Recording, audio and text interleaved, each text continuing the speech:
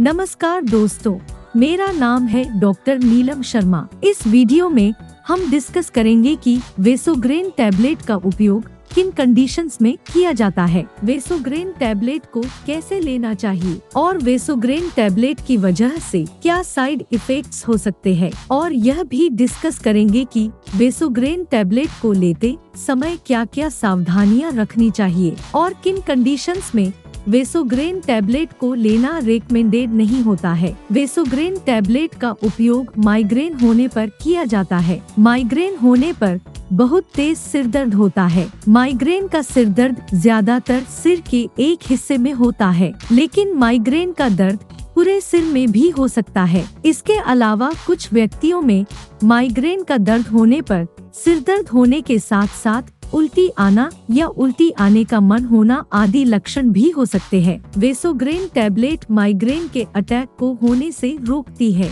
और माइग्रेन की वजह से हुए सिर दर्द, उल्टी आना या उल्टी आने का मन होना आदि लक्षणों से राहत दिलाती है। दोस्तों, कृपया वीडियो को लाइक करना न भूलें। अब हम डिस्कस करेंगे कि वेसोग्रेन टैबलेट को कैसे लेना रेकमेंडेड होता है। वेसोग्रेन टैबलेट को खाना खाने के बाद लेना रेकमेंडेड होता है। आमतौर पर 18 वर्ष से अधिक उम्र के ज़्यादातर व्यक्तियों को डॉक्टर वेसोग्रेन टैबलेट को दिन में एक बार लेने की सलाह देते हैं। लेकिन वेसोग्रेन टैबलेट की खुराक उम्र, शरीर के वज़न और बीमारी की गंभीरता के आधार पर कुछ व्यक्तियों में इससे अलग भी हो सकती है। इसलिए आपको वेसोग्रेन टैबलेट को लेने से पहले डॉक्टर से परामर्श लेना चाहिए और डॉक्टर की सलाह के बिना वेसोग्रेन टैबलेट को नहीं लेना चाहिए। अब हम डिस्कस करेंगे कि वेसोग्रेन टैबलेट की वजह से क्या साइड इफेक्ट्स हो सकते हैं। वैसे तो ज़्यादातर व्यक्तियों में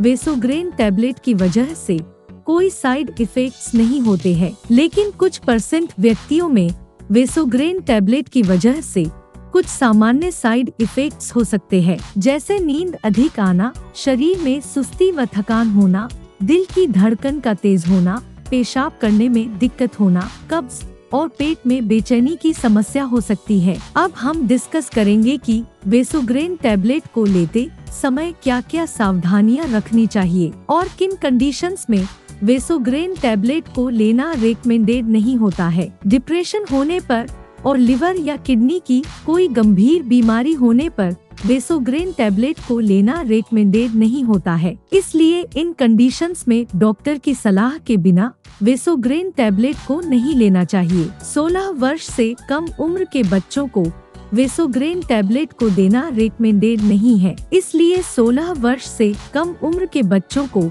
वेसोग्रेन टैबलेट को डॉक्टर की सलाह के बिना नहीं देना चाहिए। वेसोग्रेन टैबलेट को लेने के बाद ड्राइविंग नहीं करनी चाहिए और ऐसी मशीनों पर काम भी नहीं करना चाहिए, जिन पर काम करने के लिए अधिक मानसिक सतर्कता की आवश्यकता होती है। क्योंकि वेसोग्रेन टैबलेट की वजह से कुछ व्यक्तियों को नींद ज़्यादा आने की समस्या हो सकती है। अब हम जानेंगे कि क्या प्रेग्नेंट महिलाएँ और स्तनपान करा रही महिलाएँ वेसोग्रेन टैबलेट को ले सकती है या नहीं? प्रेग्नेंट महिलाओं और स्तनपान करा रही महिलाओं के लिए वेसोग्रेन टैबलेट का सेवन करना रेकमेंडेड नहीं है। इसलिए प्रेग्नेंट महिलाओं और स्तनपान करा रही महिलाओं को वेसोग्रेन टैबलेट को लेने से पहले डॉक्टर से परामर्श लेना चाहिए और डॉक्टर की सलाह के बिना प्रेग्नेंट महिलाओं और स्तनपान करा रही महिलाओं को वेसोग्रेन टैबलेट को नहीं लेना चाहिए। वीडियो को देखने के लिए आपका धन्यवाद। अगर आपको वीडियो पसंद आया